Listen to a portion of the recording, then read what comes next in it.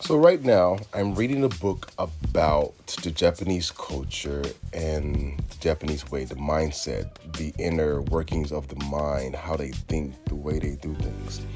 And one of the positions that is talked about in the book is called the Seiza position, which is the picture here. In yoga, which I study also, it's called Vajrasana pose and we see it improves digestion, eliminates constipation, strengthens the back, and strengthens the pelvic muscles. And this is why the Japanese sit in this position to eat. They know and they understand. And that's the one thing about us being a young culture. We don't know and understand things and apply them functionally. And that's what the Intense Fit Way is all about.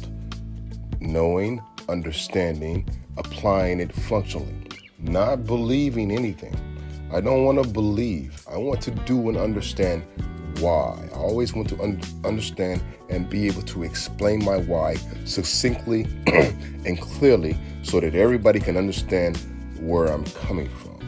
So, this is why I will begin putting up these poses that will show different ways for us to help our bodies do its work more smoothly, more efficiently.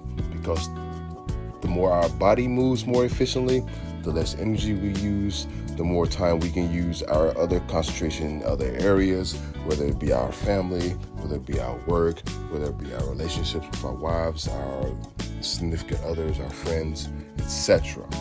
But we always have to make sure we go back to where the well, real wealth lies, which is in our fitness, in our health, in our ability to move and our ability to be mobile and helpful, not only to ourselves, but to those around us. So, this pose is Vajrasana, the first of many that I'll show you. In, the Japan, in Japan, it's called Seiza pose. It's a sitting pose. It's a respectful pose in Japan, a respectful sitting pose for eating and such. And in yoga, it's Vajrasana. Understand, all these things have been around for thousands and thousands of years. We're just now understanding their use because we're such a young country.